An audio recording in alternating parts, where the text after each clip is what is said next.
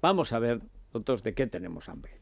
Tenemos hambre de goles, de fútbol. De Champions. Como diría eh, el déspota del tinglao, de fútbol.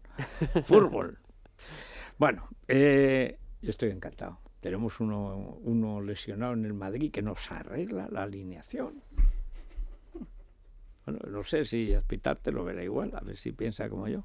Vicente Azpitarte, muy buenos días. Buenos días, Federico. Hombre, yo no quiero, ¿verdad?, que uno del Madrid se lesione. Casi prefiero que se lesione uno del Barça, ¿para qué voy a mentir? Pero, no de gravedad, ¿verdad? Pero, en fin.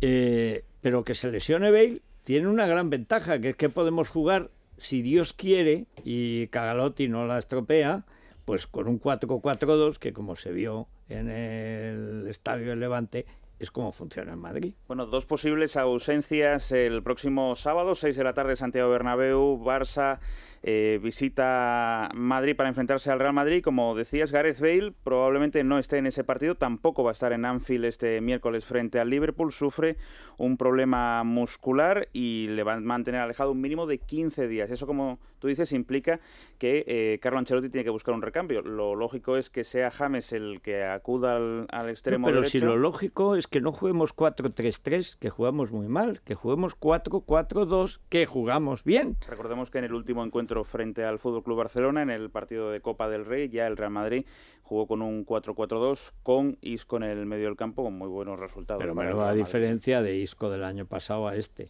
Ya en aquel partido, quizá, ya en aquel partido dio un paso adelante, ¿no? Sí, pero bueno, ahora ya es que ha dado un carrerón. O sea, lo normal es que Isco, que está mm, derribando la puerta de la titularidad, sea titular el próximo sábado frente al Fútbol Club Barcelona. Y la otra ausencia puede estar en el Barça. Federico, lo contábamos anoche en tiempo extra.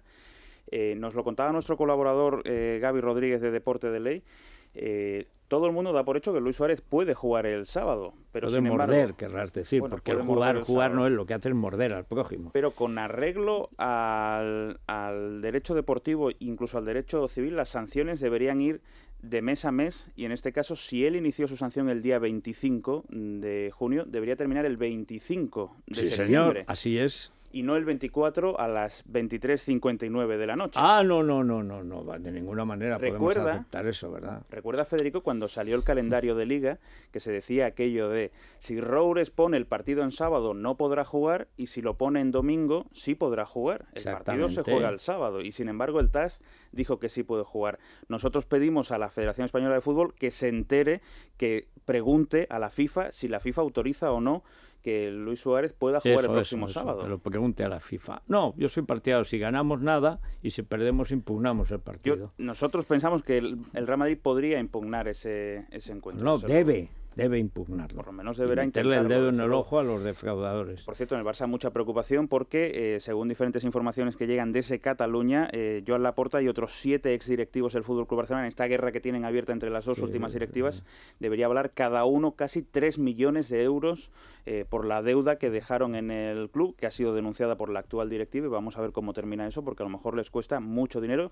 Y recordemos que hoy hay Champions, desde luego. Hoy juega, hoy juega el Barça en el Camp Nou frente al Ajax, con la necesidad de vencer después de perder en el último partido de Champions en el Parque de los Príncipes en París frente al Paris Saint-Germain y el Athletic Club de Bilbao, por supuesto, solo le queda ganar como a ti te gusta que no digamos nunca, sí o sí, solo puede ganar el Athletic Club de Bilbao en Dodragao, en el Estadio de Dragón frente a Loporto. Tampoco es el mejor sitio para ir a ganar, ¿eh? Eso es verdad, aunque los Julen Lopetegui andan un poco escasos de gasolina en las últimas semanas. Bueno, el Celta les dio un palpelo. Y déjame solo que eh, le mande un abrazo muy fuerte a la familia de José Luis Abos y a la familia del baloncesto, el entrenador del CAI Zaragoza que falleció ayer a los 53 años. Además el CAI que es un equipo que ha sabido reorganizarse y además los Abos son los clásicos de ahí del baloncesto, ¿no? así que un abrazo desde aquí. Pues lo compartimos.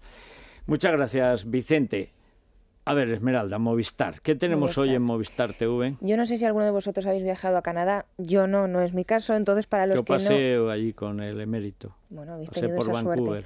Pero para los que no, han tenido esa suerte... No se veía nada. Entre la niebla, la nieve y el rey y lo que habíamos comido y bebido en un, en avión, prácticamente no me No pudiste disfrutar. Bueno, pues si tienes Movistar Televisión, ahora puedes volverlo a visitar porque nos ofrece un extraordinario, un increíble viaje de cuatro episodios en los que además, pues con imágenes de alta definición, podemos recorrer pues sus bosques, sus lagos, sus ríos, su, su fauna salvaje, todo ello a las 5.40 de la tarde en National Geographic en el dial 70 de nuestro Movistar Televisión. También Siempre puntuales a la cita con el fútbol. Hoy también sugerimos la jornada 3 de la fase de grupos de la Champions League con el partido Porto Atlético de Bilbao a las 9 menos cuarto en el Canal Plus Liga de Campeones. Y para terminar el día también el primero de los seis episodios que componen la quinta y última ojo temporada de Warehouse a las 10 y 25 en el día 18 de nuestro Movistar Televisión. Qué cosa, qué de cosas hay. Planes para todas las horas. Y muchas más, ¿eh? y muchas no más. tiempo. No, no. Pero claro, tenemos que irnos a las noticias locales y después, ya saben, el tiempo, las noticias y la tertulia, que hoy hay mucho que tertuliar.